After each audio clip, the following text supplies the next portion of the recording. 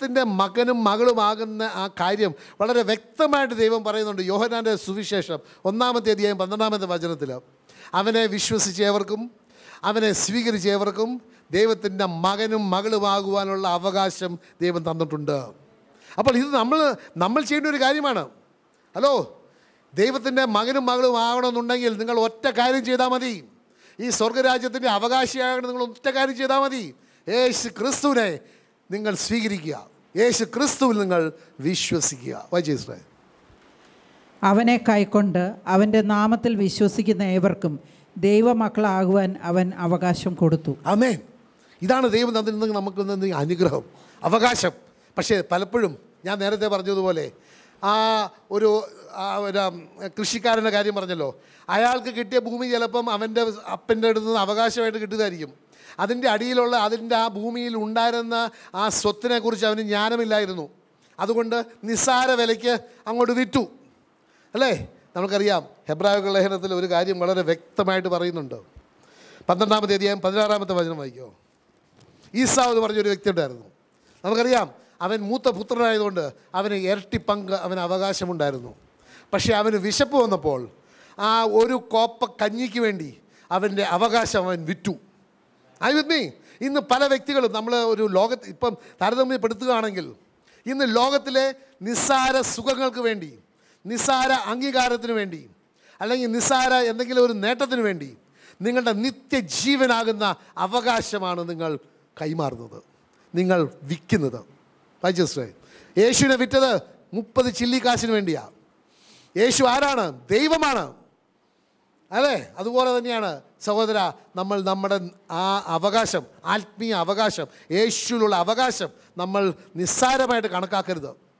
കാരണം ഇസാവിനെ കുറിച്ച് ദൈവം എന്താ പറയുന്നത്? അങ്ങനെ ചെയ്തതുകൊണ്ട്. നമുക്കറിയാം റോമാർക്കുള്ള ലേഖനം ഒൻപതാമത്തെ അധ്യായം വായിക്കുമ്പോൾ പതിനഞ്ചാമത്തെ വചനത്തിൽ അധ്യായം പതിനഞ്ചിൽ ഒൻപതാമത്തെ അധ്യായം പതിനഞ്ചാമത്തെ വചനത്തിൽ ദൈവം പറയുന്നുണ്ട് എന്താണ്?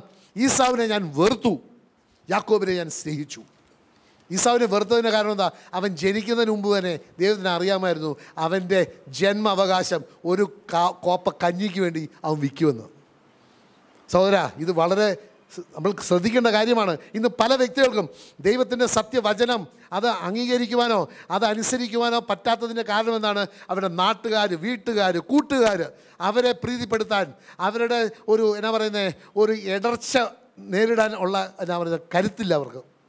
അവർ they are afraid not of God they are afraid of people they are seeking the acknowledgement or the the recognition not of God but of people അതാണ് ദൈവത്തെ കൈമാറുക. You are short changing God അങ്ങനെ ചെയ്ത ഒരു ഈസാവിനെ കുറിച്ച് എന്താണ് ദൈവത്തിന്റെ അഭിപ്രായം? വായിച്ചേ ഹീബ്രൂസ് ട്വൽവ് സിക്സ്റ്റീൻ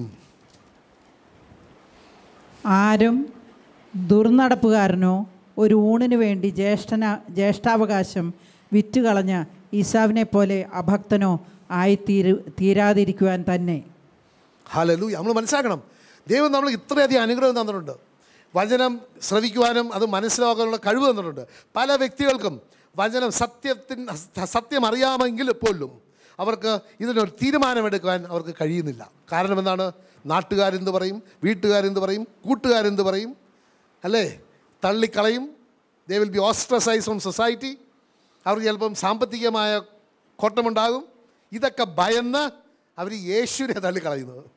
അയ്യുദ്നി സഹോദര അങ്ങനെയുള്ളവരെ കുറിച്ച് പിന്നെയും ഒരു താക്കീത് വരുന്നുണ്ട് ഹെബ്രാക്കൾ ഇത് ശ്രദ്ധിച്ച് കേൾക്കണം. കാരണം ദൈവം എന്നാ പറയുന്ന വാഗ്ദാനത്തിൽ വിശ്വസനാണ് ശിക്ഷ തരുമെന്ന് പറഞ്ഞാൽ ശിക്ഷ കിട്ടും. വായിച്ചേ ഹെബ്രാഹിക്കുള്ള പത്താമത്തെ അധ്യായം ഇരുപത്തി ഒൻപതാമത്തെ വചനം. ദൈവപുത്രനെ ചവിട്ടിക്കളയുകയും തന്നെ വിശുദ്ധീകരിച്ച ഉടമ്പടിയുടെ രക്തത്തെ അശുദ്ധമെന്ന് കരുതുകയും കൃപയുടെ ആത്മാവിനെ നിന്ദിക്കുകയും ചെയ്തവൻ എത്ര കഠിനമേറിയ ശിക്ഷയ്ക്ക് എത്ര കഠിനമേറിയ ശിക്ഷയ്ക്ക് പാത്രമാകും എന്ന് വിചാരിക്കുന്നു. ഇംഗ്ലീഷിൽ ഇങ്ങനെയാണ്. Of how much worse punishment do you suppose will he be thought worthy who has one trampled the son of God under foot രണ്ട് counted the blood of the covenant as a common thing.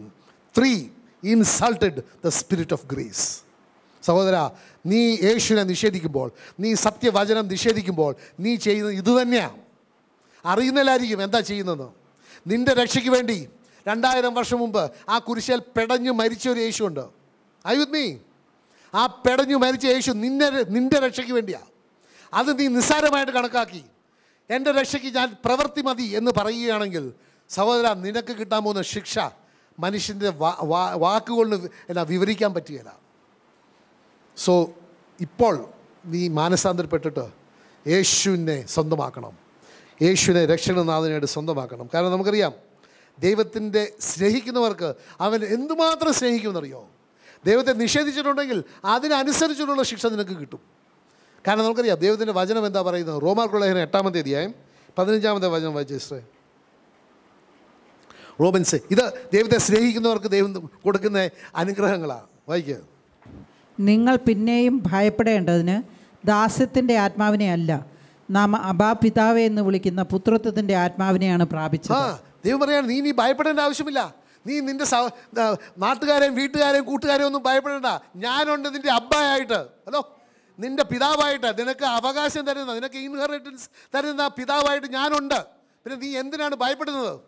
Hello says that I have not given you a spirit of fear, but I have given you a spirit of adoption by which you will get a revelation that you can call me Abba, Father. ആമേ പിതാവേ എന്ന് വിളിക്കുവാനുള്ള ആ ജ്ഞാനം കൊടുക്കും. ആ ജ്ഞാനം നമ്മളെ പഠിച്ച് അല്ലെങ്കിൽ അങ്ങോട്ടും ഇങ്ങോട്ടൊക്കെ ആ ഡയലോഗ് ചെയ്ത് കൊടുത്ത് കിട്ടുന്നതല്ല.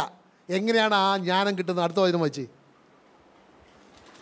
നാം ദൈവത്തിന്റെ മക്കളാകുന്നുവെന്ന് ആത്മാവ് തന്നെ നമ്മുടെ ആത്മാവിനോട് കൂടി സാക്ഷ്യം പറയുന്നു. ആ മേൻ ദൈവത്തിന്റെ ആത്മാവ് നമ്മളുടെ ആത്മാവിനോട് സാക്ഷ്യം പറയുകയാണ്. നമ്മൾ ദൈവത്തിന്റെ മക്കളാണെന്ന്.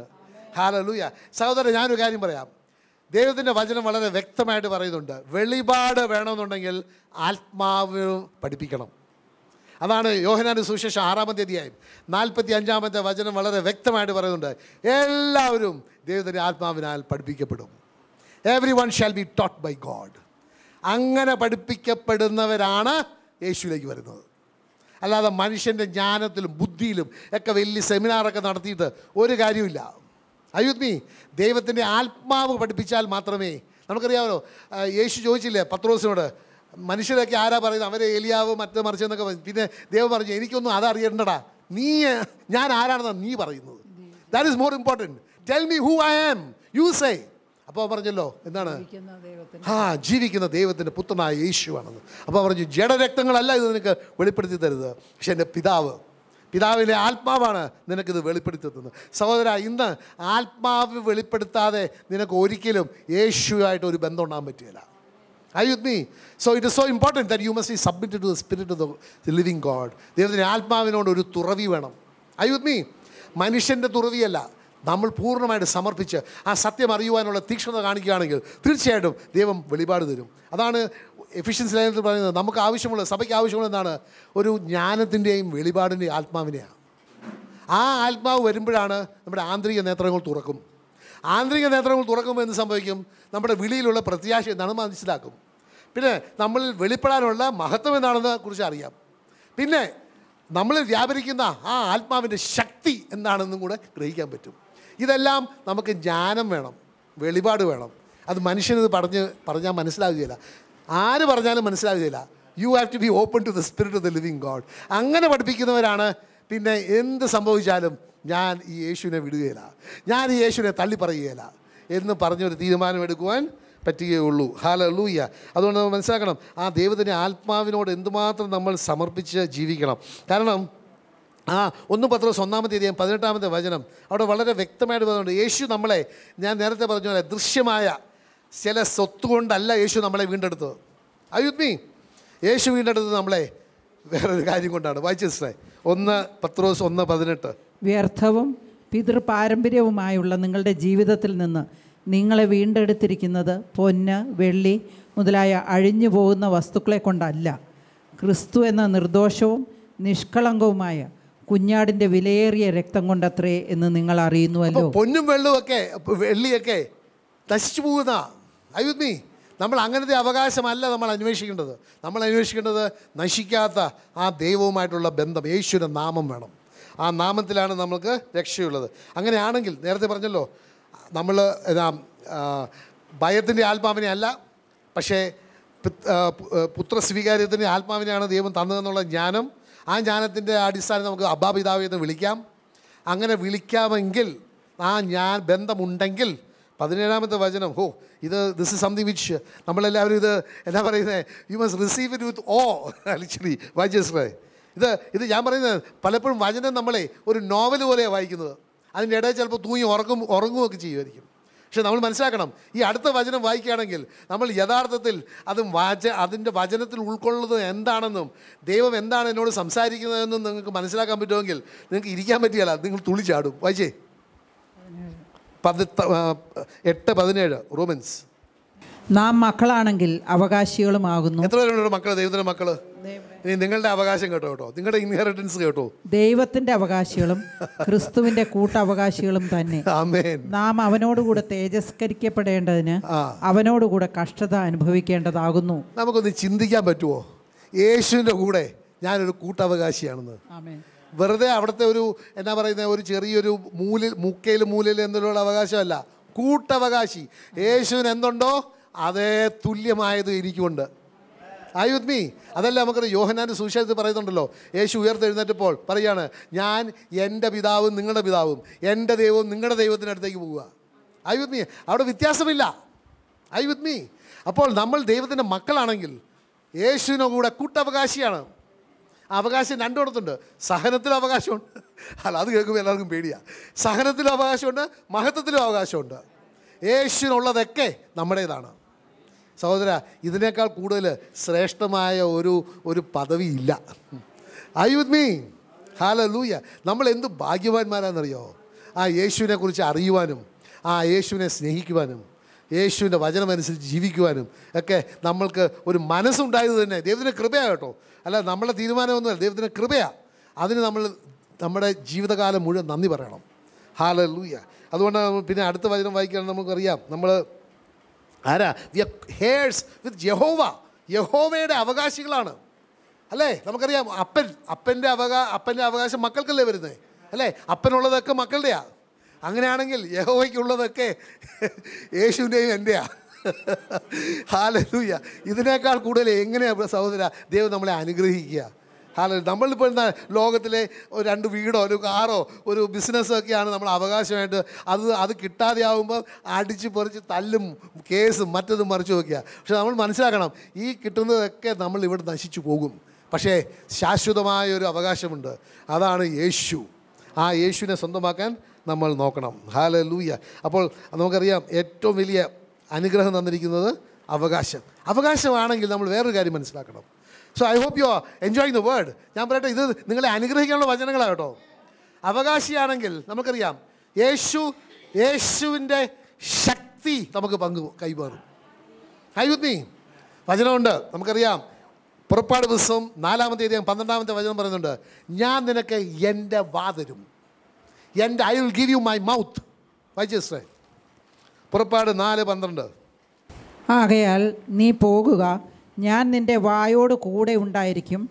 നീ പറയേണ്ടത് എന്തെന്ന് ഞാൻ നിനക്ക് ഉപദേശിച്ചു തരും എന്നരുളി ചെയ്തു. നിന്റെ വായോടുകൂടി ഞാനുണ്ട്. എന്ന് വെച്ചാൽ നീ പറയുന്നതൊക്കെ ഞാൻ പറയുന്നത് പോലെയാ. ആസ് ഗുഡ് ആസ് എന്ന് വെച്ചാൽ ഇപ്പം ഞാൻ പറയുന്നതാണ് ഇവിടെ കൂടെ പോയി എങ്ങനെ അതിലൂടെ അവിടെ കൂടെ പോയി അവിടെ കൂടെ പോയി ഇവിടെ കൂടെ പോയി അങ്ങോട്ട് വരുന്നത്. അല്ലേ? എന്ന് പറയുന്നത് പോലെ തന്നെയാണ്.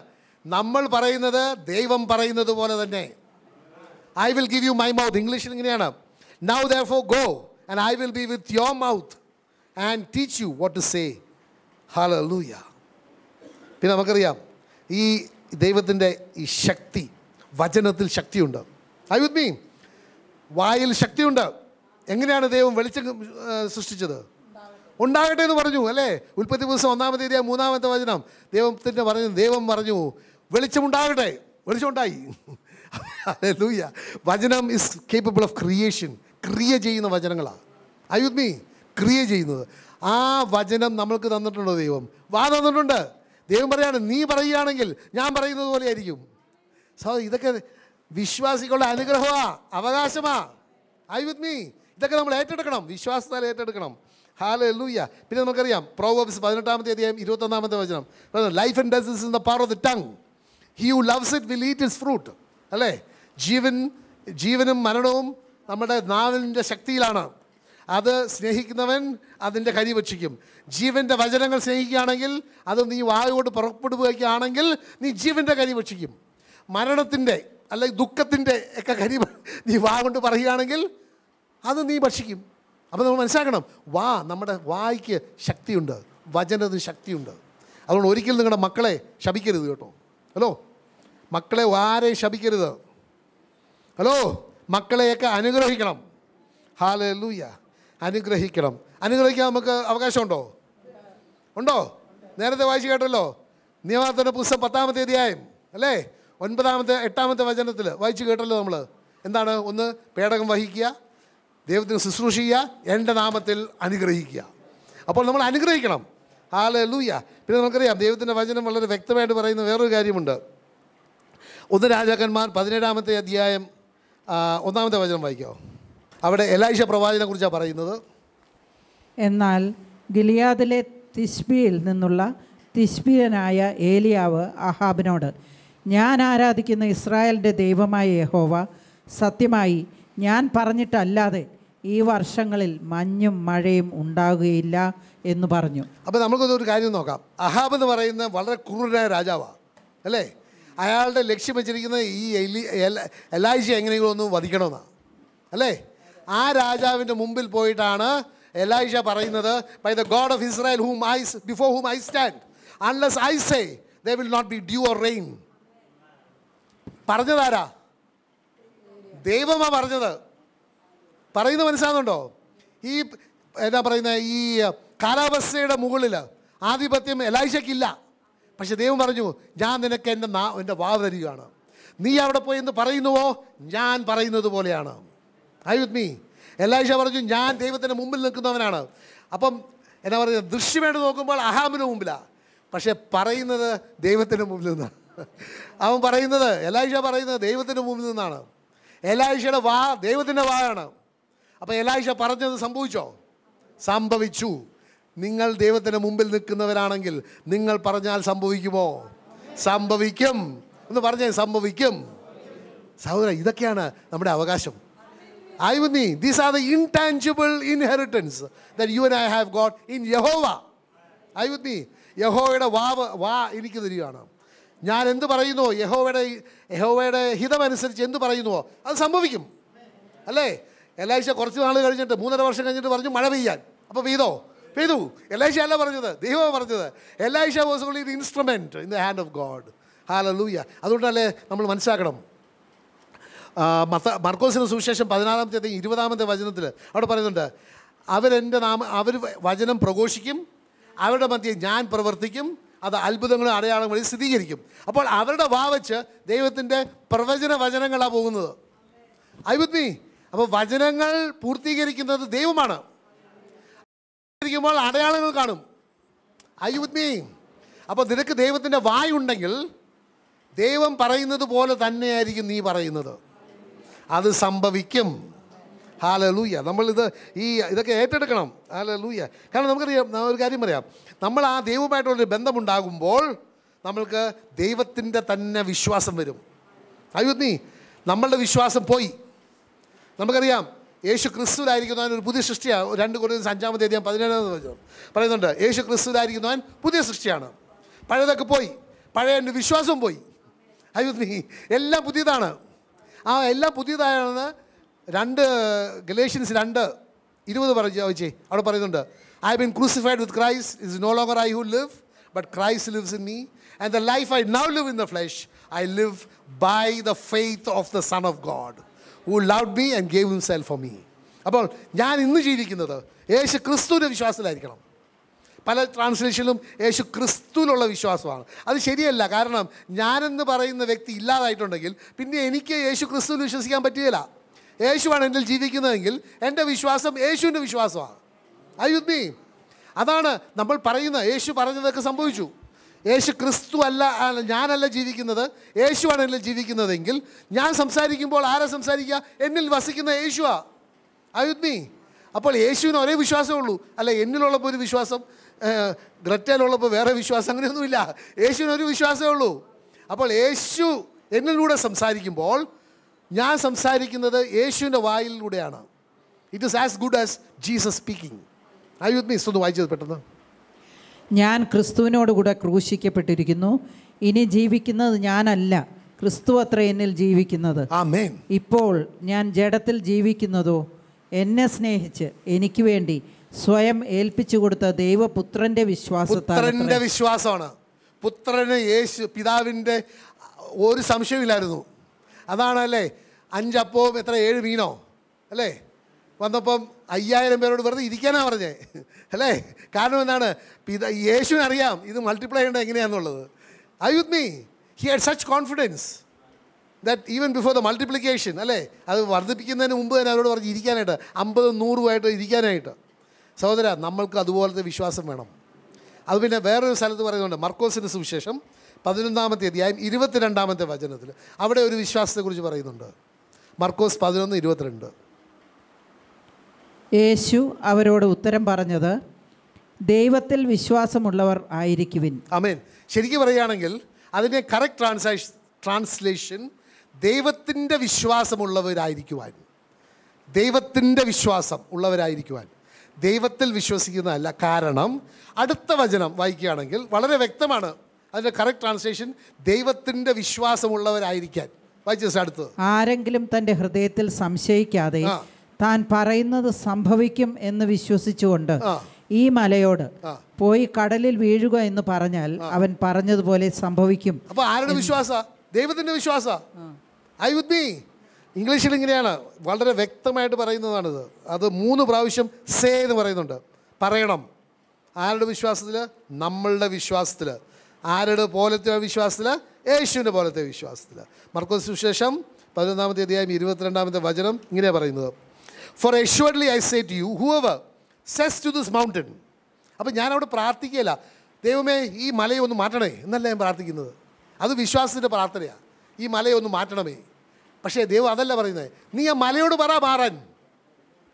I hope I you getting it ദൈവം പറയാണ് നീ ആ മലയോട് പറ മാറാൻ. അപ്പം നിനക്ക് യേശുവിന്റെ വിശ്വാസം വേണം. അല്ലേ? പിന്നെ says to this mountain be removed and be cast to the sea and does not doubt in his heart, but believes that those things he says will be done. Will have whatever he says അപ്പം നമ്മൾ വാ കൊണ്ട് നമ്മൾ നേരത്തെ പാട്ട് കേട്ടില്ലേ? ഞാൻ നിനക്ക് എന്റെ വാ തരുമെന്ന്. കേട്ടില്ലേ? അപ്പം നമ്മൾ വാ കൊണ്ട് എന്താ ചെയ്യുന്നത്? പറയുക അല്ലേ? അപ്പം നമ്മൾ പറയുമ്പോൾ ആരാ പറയുന്നത്? ദൈവ പറയുന്നത്. ആരുടെ വിശ്വാസത്തിൽ? ദൈവത്തിന്റെ വിശ്വാസത്തിൽ. അല്ലേ? അതുകൊണ്ട് നമ്മൾ പറയുന്നത്. നമുക്ക് ദൈവത്തിന്റെ വിശ്വാസം വേണം. യേശുവിന്റെ വിശ്വാസം വേണം നമുക്ക് ഹാല ലൂയ്യ പിന്നെ നമുക്കറിയാം ദൈവത്തിന്റെ വചനം വായിക്കുമ്പോൾ നമ്മൾ വളരെ വ്യക്തമായിട്ട് മനസ്സിലാക്കുന്ന ഒരു കാര്യമാണ് ഇത്.